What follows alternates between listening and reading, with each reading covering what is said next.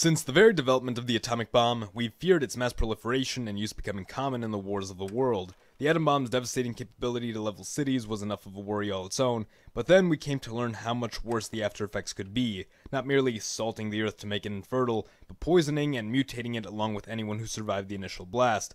It's pretty clear that these things are extremely dangerous, certainly not something you'd want falling into the wrong hands, and there's a lot of them out there.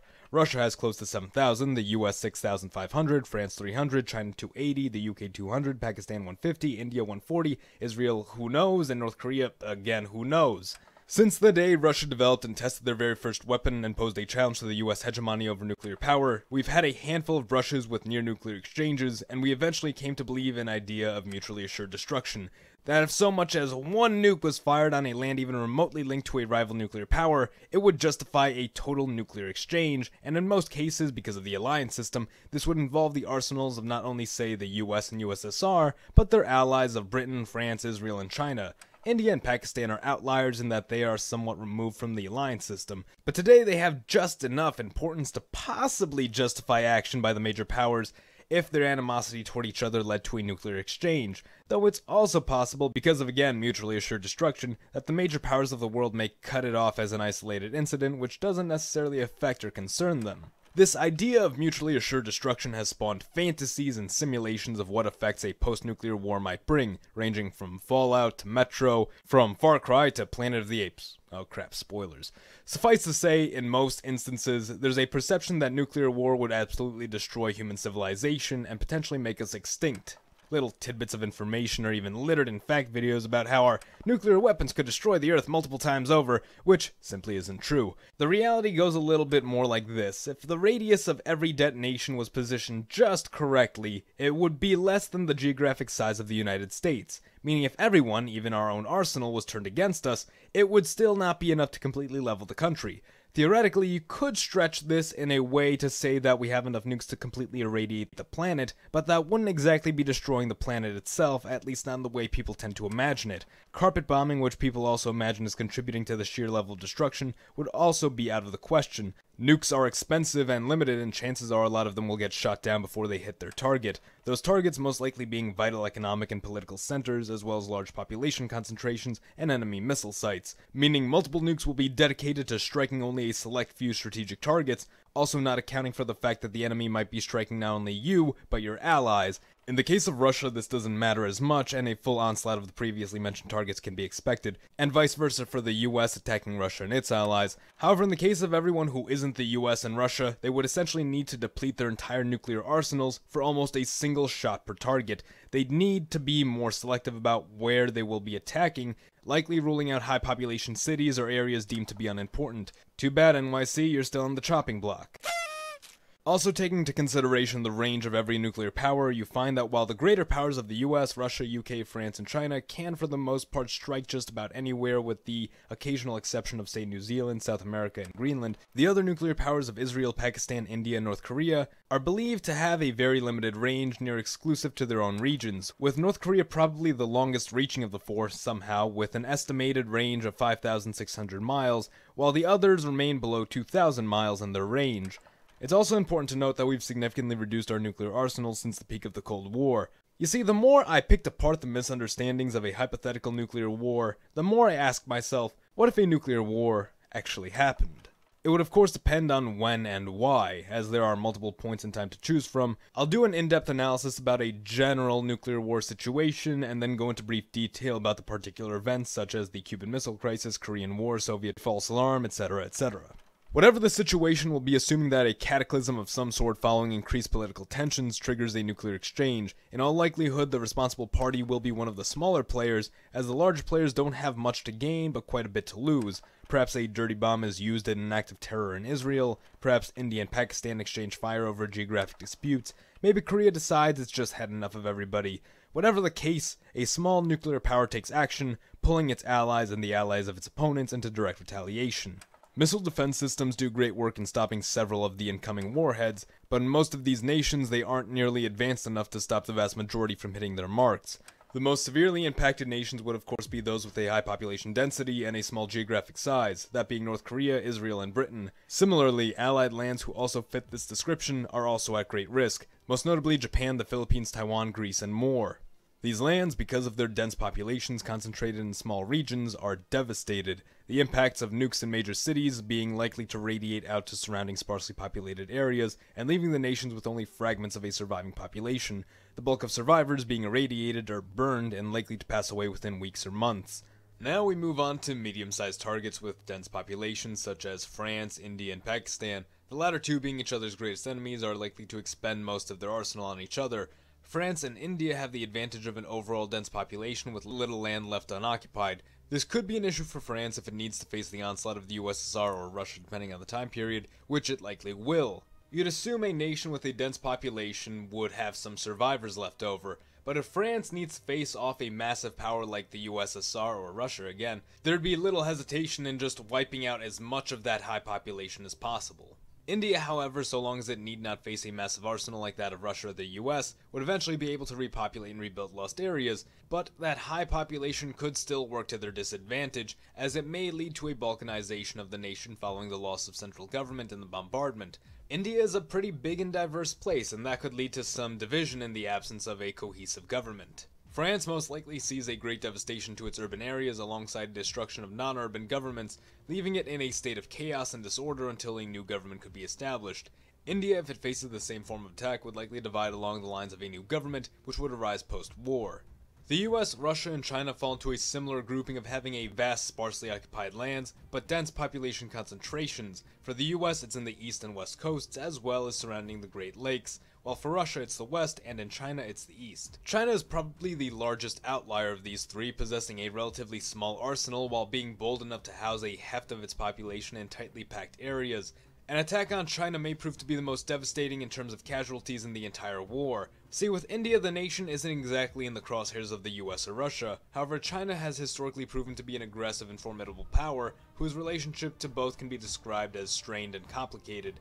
As such, the US or Russia have much more opportunity to strike multiple targets within China thanks to their larger arsenals, and no matter which targets are hit, a massive loss is almost guaranteed due to China's massive population being packed in densely concentrated cities. The US and Russia, if they come head to head, would be each other's worst adversaries. In a multi-thousand nuke situation, they could successfully eradicate every major population center, known missile site, and political hub in each other's lands. As devastating and crippling as this would be, a large population would still survive within each country, many of whom would likely remain unirradiated and uninjured simply because of how vast these two countries are. The issue is that these populations would be spread out and few in grouping. Whole towns and even counties would survive untouched by the war, but were now disconnected and without higher governance, so it looks like we've gotten the bulk of the bombs out of the way. What comes next? I know what most of you are thinking, nuclear winter. Well, as it turns out, nuclear winter may not be as realistic a prediction as we thought. The idea was that so many high powered blasts would propel ash and debris into the stratosphere, where theoretically they would remain and block out the sun, leaving us in a hyperfreeze leading to crop failure, starvation, etc. However, we now know from further testing such a thing is unlikely, especially today as we've gradually decreased the yields of our warheads. Russia supposedly still has about 10 whose yield is still capable of propelling debris into the stratosphere, but these wouldn't be anywhere near enough to trigger a nuclear winter. A temporary blocking out of the sun is still possible, however, but nowhere near as long as the supposed nuclear winter would suggest, mostly fading after a few days and likely completely clearing after two weeks. During this two week period, the fallout of the explosions would be carried by the weather and spread across the continents involved, primarily along coastlines, and may lead to some dangerous weather phenomenon, such as irradiated twisters and radiation storms. The best prepared will be able to easily ride out these two weeks from the comfort of a bunker or shelter, while others would need to hide out indoors and ration their food and water. Those unlucky enough to be caught without shelter or forced to gather resources in the fallout risk heavy irradiation as the air will be full of radioactive fallout particles, which they'll now be breathing in and carrying on their clothes and skin. There are some regions that might also be entirely untouched by the nukes and the fallout, but this would all depend on payload and wind. A test in Bikini Atoll of a weapon several times the yield we use today showed Fallout travel nearly 300 miles from ground zero in a span of only 96 hours. This was, however, the largest yield bomb the US ever tested, but the current Chinese yield is still a third of that. If we're to select a winner for this war in a competition of survival, India would probably come out on top, with the US close behind thanks to its widely spread population. Russia and Pakistan, while their populations are concentrated in one geographic direction, still have a vast area of unirradiated land to work with. China and France would lose a terribly high count of their population and some of their most valuable lands. Finally, Britain, Israel, and North Korea, if some semblance of them still exists, would be far beyond repair. The populations of these lands would most certainly be devastated, and what remains of them would be forced to flee elsewhere or risk radiation poisoning and starvation.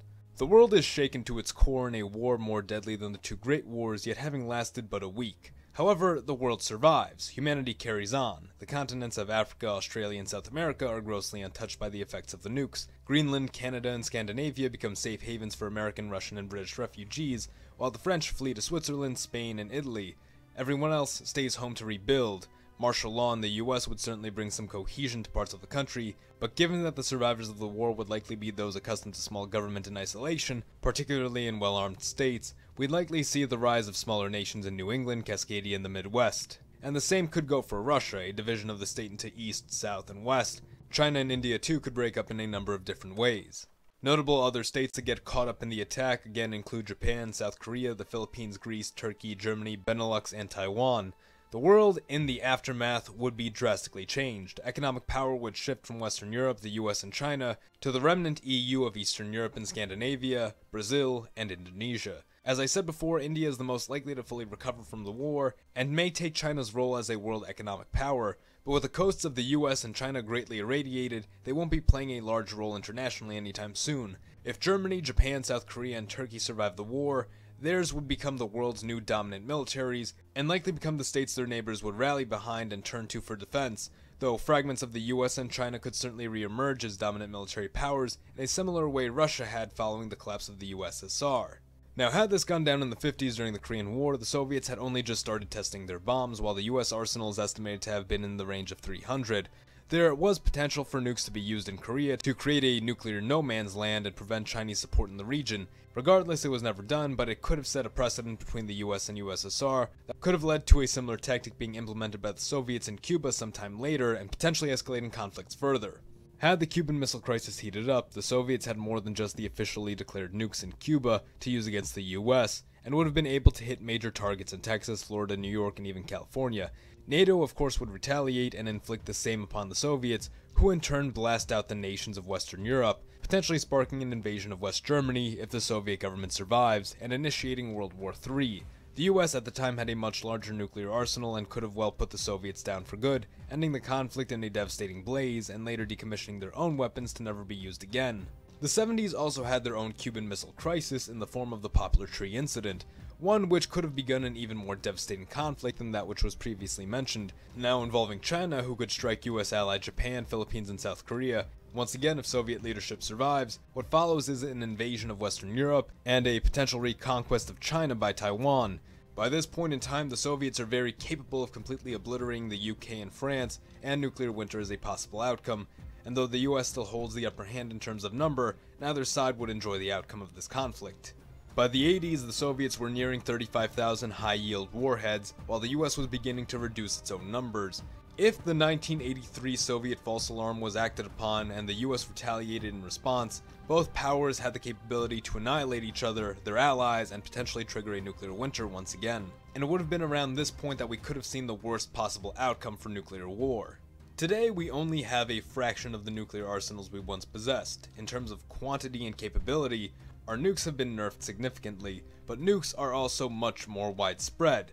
Almost just as concerning, knowledge of nuclear power is even more widespread, meaning the potential for weapon development. My initial analysis in this video is best applied to where we are today. The biggest danger in the past was a misunderstanding between the US and USSR, pulling all their allies into war.